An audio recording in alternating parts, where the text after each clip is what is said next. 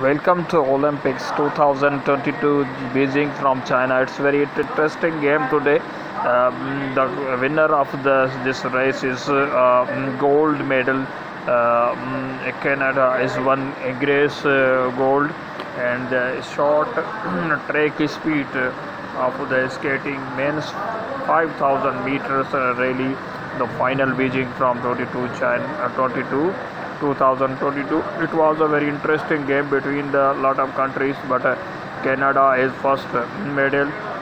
And you can uh, see the very interesting a very uh, tough competition in the olympics. And every every player is a very nice performance in this tournament you can see this is the winner of the mm, race and he is he is a very tough target and very good performance in Olympics.